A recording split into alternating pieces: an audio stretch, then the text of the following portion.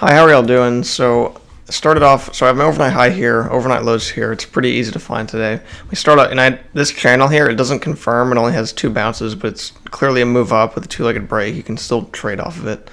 And so, the uptrend with this two-legged break, and we immediately rush above the EMA. So it's not to the tick because it went past it here. It went past the measured move a little bit, but as soon as it reached it, it rushed above the EMA, gave a higher low. I liked it. I wanted to get out at these lows. I didn't want to push it through it too much. So I just got out before it. I didn't want to go full one to two. But um but yeah, that's a pretty good trade. And because it's right after a perfect measured move, two-legged break of that uptrend, and then just the higher low, fading the range, you know, and it's with the bias. So I did like that. And we push higher and we eventually reach the overnight highs again. I didn't find a good trade off of it, but we do bounce off of it. This uptrend gets a break, and so now you can look at these two legs up here, and I'll draw them out here.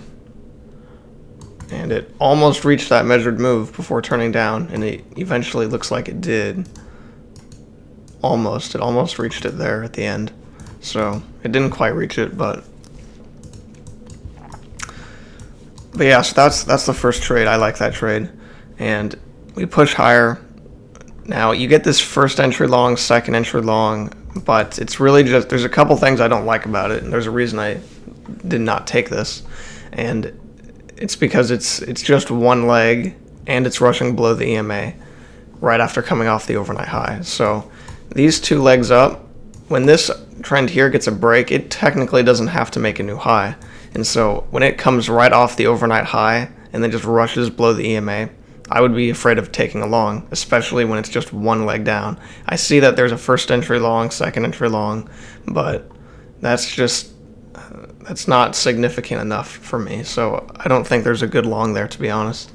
Um, just not, just a little bit risky, and um, you know, even if you want to take it as like a range fade, it's it's like still you can't you, you still can't you'd still expect a new low. It's just one leg coming off the overnight, so I don't think it's good to take that. But um eventually this does start to extend and get bigger, it breaks instantly there.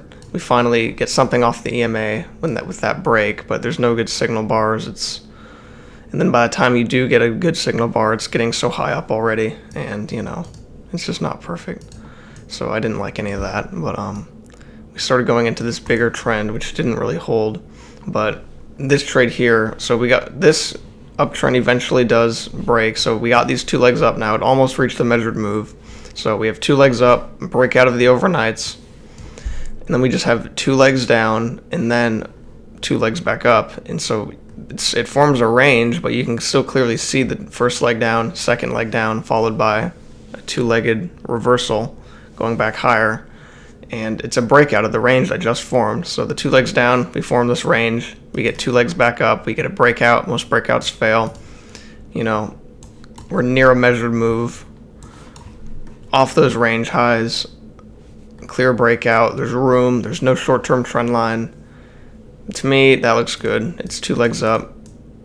Looks pretty good to me. So that's why I liked it yeah anyway so we push lower. Now about this uh, i wanted to talk about this trade right here because it it looks decent in some ways but you know it's not it doesn't get to the ema it's a failed second entry. First entry long second entry long failure. Um, you know it, it didn't reach the lows here and then it's like it, it didn't reach the lows and then it also couldn't break through the line to reach the ema so i really don't think there's anything particularly great here um, it is a failed second entry, you know, fading the overnight technically has some. I, I don't think that this is a super high probability because, like I said, it's just it's already got two legs out and it couldn't it couldn't push low enough to even reach here. It just bounced early. And that's bullish momentum. And now you might say, yeah, but it didn't break out. But if it doesn't if it doesn't break out, then I, I really have no reason for it to go lower, it would be I would basically just bet on this short not working. So, but yeah, um, we couldn't reach the lows, and then we couldn't make an equal breakout. I don't like it, but yeah, it did work out pretty well. So we push lower. We have this downtrend now. We overshoot, and I almost took a loss here because I, I was about to go for some big target, but I ended up not even taking anything. Because um, I, I drew this, which kept me out of it, basically. And, you know, maybe I could have gone one to one, but, you know, it really wasn't off of anything. It would have just been a, it would have just been an overshoot buy, which really isn't that good, so I'm glad I stayed out of that. But we push into this downtrend here, and it also formed this range. Breakout, most breakouts fail, and then after we pushed higher here, I I drew this to uptrend here, and then it fit off the highs pretty well. And so after we push up, you can see we get this reversal pattern, uptrend, and then you can see two-legged break. It's very small, but that's a reversal pattern right there. There's obviously no way you can enter into it because it's right in the middle of this range. It's closing all the way up here. No way that you can enter it. But we do start to get this uptrend off of it. There's nothing particular great, just a bunch of first entries. And we go higher, we get back to the overnight high. So at this point, we could be getting a bullish imbalance in the overnight range. So we have the overnight range holding with this uptrend. It could end up being a bullish imbalance. Oh, whoops. So, um, hold on, well, let, me, let me take my jacket off.